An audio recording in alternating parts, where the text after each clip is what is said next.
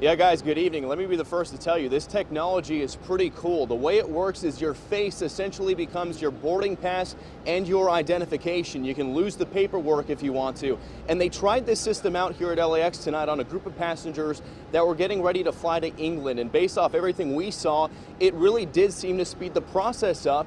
And most of the passengers we talked to really seem to approve of this new technology. Take a look.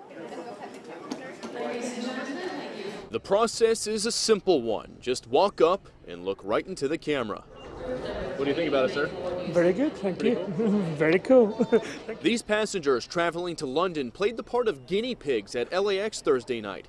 They were testing out a state of the art biometric facial recognition system, which uses your face as your boarding pass. And that is a fantastic invention to be able to do that, to be able to come into America and to go straight through with the eye and facial to come in through the customs. I don't, I don't mind. I don't know if it's, if it's for security, it's fine.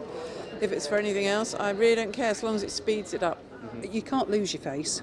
Your face is with you regardless wherever you go.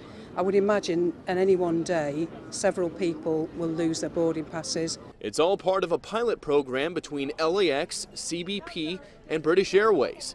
They all believe this system will be faster and more secure. This is cool for us because this is technology that's going to increase security, advance the passenger experience. Everybody's going to be happy.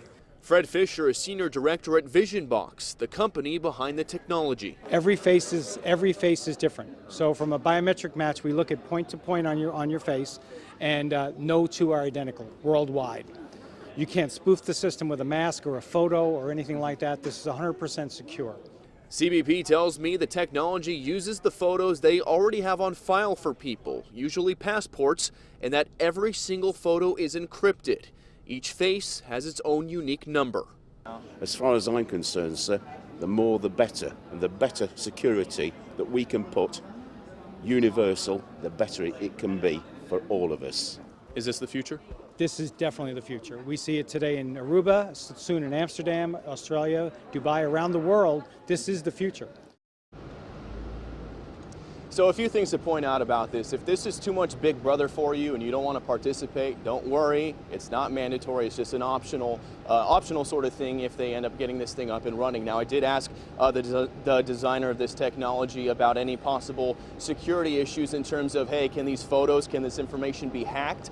He said it's not very likely because everything they're collecting is going to the federal government. It's going to be stored in CBP servers, and he says those are borderline impenetrable. Uh, he says that the software is 97.5% effective in terms of matching face to face, and that they hope to have this technology up and running in all airports here in America within the next four years or so.